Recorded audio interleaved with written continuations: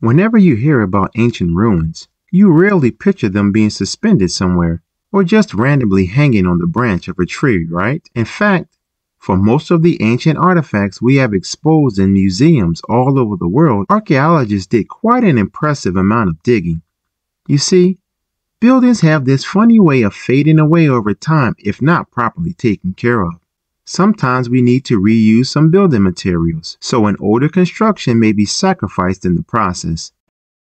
Houses are abandoned, and once they are exposed to the elements on the surface, like rain sunlight, they don't stand a chance. Some just simply crumble away due to good old erosion. So the only way a piece of architecture can survive the test of time is if it's somehow gotten buried deep down. Now, how did they end up buried in the first place? Well, it's quite the comedy of errors. Ancient cities had a habit of gradually raising their ground level like a kid adding toppings to their ice cream sundae. You see, these settlements were always busy collecting food and building materials to keep up with their ever growing population. But hey, who has the time to deal with waste and rubbish? It wasn't exactly on their to do list back in the day. So when it came to building new homes, Ancient civilizations found it much easier to save their sweat and tears by piling up the rubble and constructing right on top. But that's not all.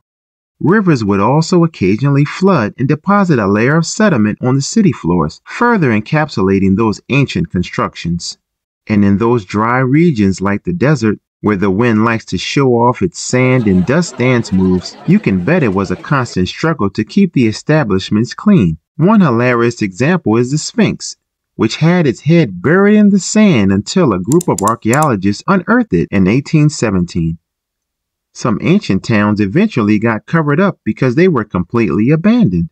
With less human activity to control their expansion, plant seeds couldn't resist the opportunity and sprouted all over the place. They gobbled carbon dioxide from the air and grew, adding more and more bulk to the ground. Those cheeky roots even decided to stabilize the soil made from decaying plant matter, create layers upon layers of earthy goodness. It's like the ultimate DIY project Mother Nature embarked on with plants as her loyal helpers. The act of digging into the secrets of ancient civilizations is not just about unearthing a lost world, it's also an epic quest to reveal the hidden treasures beneath layers of history. But how do archaeologists know where to dig in the first place if everything is covered in layers upon layers of sediments, debris, and plant root? They must have some sort of system they rely on before embarking on a new project, right? For starters, they're not always the ones who suggest, as some local legislations have certain requirements before your project buildings on a piece of land. They might need to bring in specialists to check the soil. These clever folks can be archaeologists, geologists, or paleontologists, and they need to keep an eye on things during development. If any artifacts, ecofacts, or fan word for organic remnants are discovered, these experts swoop in to excavate and study them. But what about sites that have nothing to do with bulldozers and yellow hats? Archaeologists have more than one trick up their sleeves when it comes to locating ancient hotspots. They dive deep into historic records with a healthy dose of detective work. By sniffing out old documents and maps, they can piece together the puzzle of human activity in a specific area. If a site has been visited before, it's even better. Finding records of past excavations or historical accounts can give archaeologists lots of information on where to continue their treasure hunt. Before archaeologists start swinging their shovels, they engage in a bit of a visual scan mission. Armed with the grid system, they'll stroll around the site, keeping their eyes peeled for any artifacts that might be hiding just beneath the Earth's upper layer.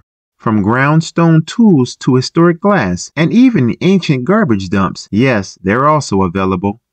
These keen eyed explorers can spot signs of human activity faster than most people. If they stumble upon midden soil, a fancy term for a garbage dump, geophysical tools are like their secret weapons. Take the resistivity meter, for example. This clever contraption measures the electrical component of soil and any buried features or artifacts. A buried wall, for instance, will create a different resistivity reading than the surrounding soil. Magnetometers and ground penetrating radar work in similar ways, showcasing potential hints of ancient treasures in the soil. And who could forget our trusty old friend, the GPS?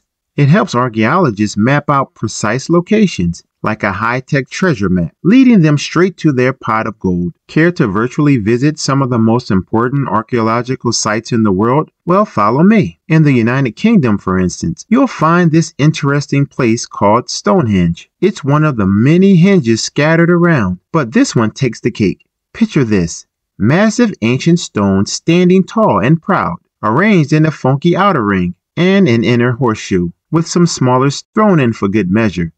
And guess what? These amazing stones have been around for over 5,000 years.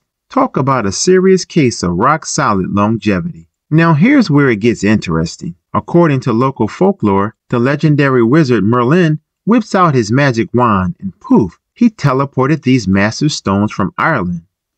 Some giants had assembled them there, but Merlin decided they would look much better at their new location Others think it's just the ruined remains of an old Roman spiritual edifice. These amazing structures were built by Bronze Age ancestors. With their simple tools and limited tech, they managed to create this monumental masterpiece. Impressive, right? Unfortunately, there is still so much we don't know about this area. Stonehenge's initial purpose remains a mystery to this day. Sure, there's a lot of theories, but scientists have yet to agree on the subject. However, we do know that it's perfectly aligned to catch the sunrise during the summer and winter solstices. The ancient city of Pompeii is an equally amazing archaeological site. Picture this Mount Vesuvius, a notorious troublemaker, decided to throw a volcanic tantrum and completely covered this ancient Roman city. It turned it into a time capsule located outside present day Naples in Italy. Fast forward to the year 1748, when a bunch of adventurous explorers stumbled upon Pompeii. Lo and behold, they discovered a treasure trove of well preserved goodies, streets, houses, and food, probably a bit stale by then, blinky jewelry, fancy sculptures, colorful frescoes, everyday household items, and even animal and human remains. It was like an epic archaeological party. From the looks of it, Pompeii had it all fancy houses and villas, a massive 20,000 arena, cute little artisan shops, hangouts like taverns. And let's not forget the saucy spots like those luxurious bathhouses for some intense pampering. There's also the sanctuary of Apollo, where people used to gather for their daily dose of worship. And of course, the bustling heart of the city, the Forum of Pompeii, where all the cool people used to hang out. And guess what? Pompeii is so cool that it made it to UNESCO's World Heritage List back in 1997. That's like the ultimate Hall of Fame for historical awesomeness. It also includes many other famous buildings and sites like the Taj Mahal in India and the Acropolis of Athens in Greece. So, hey, if you pacified your curiosity, then give the video a like and share it with your friends. Or if you want more, just click on these videos and stay on the jewel side.